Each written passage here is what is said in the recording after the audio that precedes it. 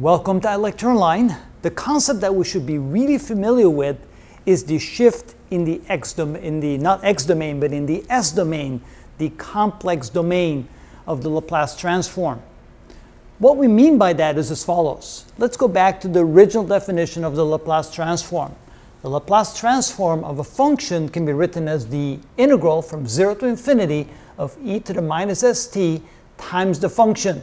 And then we get the transfer function f of s, where of course s is the complex number equal to sigma plus omega times j. Now, what happens when there's a shift in the transfer domain, in the complex domain, or in the S domain? For example, what if something is written as S minus A? Well, what can we do with that? Well, we have a way of transferring that back into the time domain. And the way we can do that is as follows. So let's go back over here to our main definition. And let's say that the Laplace transform of f of t is equal to f of s. Now what if we have a shift there and we write as s minus a, and we write that over here. And now we want to know how to transfer that back into the time domain. Well, notice here that instead of s, we're going to write as s minus a, because that's the equivalent here. Just like we have it over here, the s here is the s over here. If we write as s minus a, we must write as s minus a inside the integral sign. So instead of writing it like this, we have it as e to the minus s minus a times t times a function of dt. So this is still correct.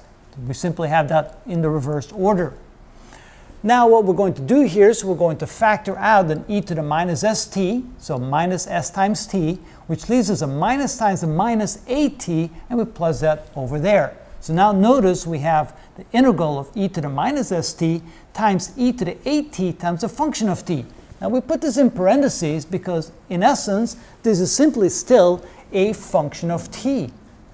So if we call this the function of t, then if we take the inverse Laplace transform, we get f of s minus a is equal to the Laplace transform of this, which means that if we have a shift in the s domain, it shows up as an extra term e to the at in the time domain. So whenever we take the inverse Laplace transform of a function in the s domain, then notice if there's a shift like this, s minus a, this can be accounted for in the time domain by the term e to the at. To make that a little bit more clear, let's go to our tables here. Remember that if our function was t to the n, the Laplace transform of the function in the frequency domain is n factorial divided by s to the n plus 1.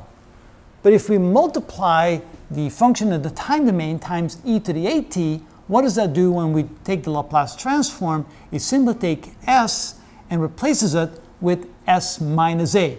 Notice if this is positive, we subtract it, which means that if this s e to the minus at, this would become s plus a, by the way. So it's always the reverse in the sign. Same with the cosine. If we take the cosine of omega t, which we know the Laplace transform is s divided by s squared plus omega squared, then if we multiply the function in the time domain times e to the at, that simply causes a shift in the s domain by a minus a. So if it's e to the at, instead of writing s squared, we write quantity s minus a squared, and of course the s in the numerator becomes s minus a. Same for the sine. If we have the sine of omega t, the Laplace transform is omega divided by s squared plus omega squared.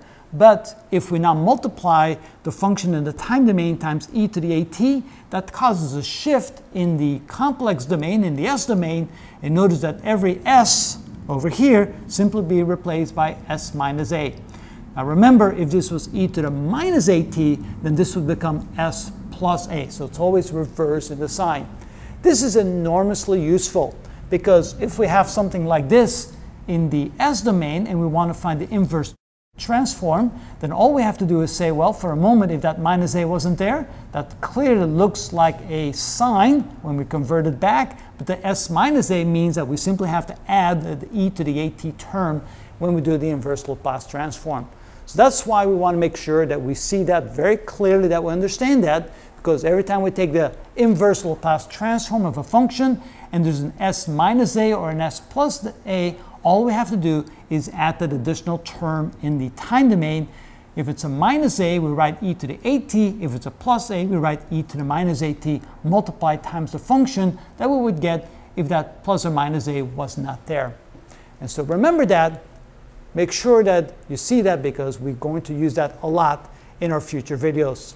And that's how it's done.